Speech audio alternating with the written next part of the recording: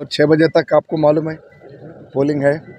तो आज ये थोड़ा माहौल देख के मैंने सोचा, आज छः बजे से कल सुबह तक ये वाइन शॉप भी बंद करें, क्योंकि जो पाँच बजे अगर फिर छः बजे खुले तो तो जो वोटिंग आठ बजे तक चलने वाला है, उसमें कोई पीने वाला है कि कोई प्रॉब्लम नहीं करे।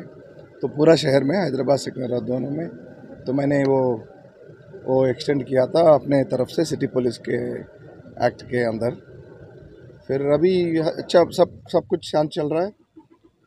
कोई प्रॉब्लम नहीं है। तो एक दो जगह कुछ प्रॉब्लम है तो हमने पकड़ा ये डुप्लीकेट ई वी मशीन किसी पार्टी का और किसी पार्टी का जो, वो इलेक्शन पोलिंग स्टेशन के सामने वो कैंपेनिंग नहीं करना तो वो मटेरियल रख के तो उसको सीज़ किया।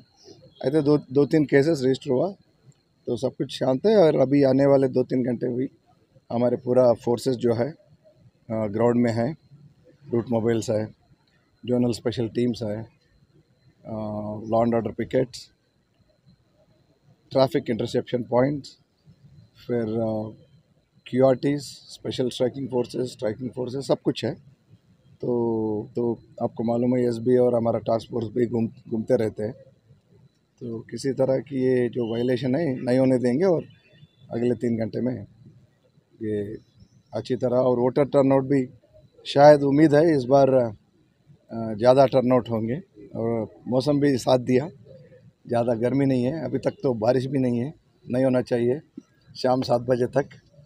तो अच्छा है तो अगर पचास परसेंट टच होता तो बहुत अच्छा होता। Thank you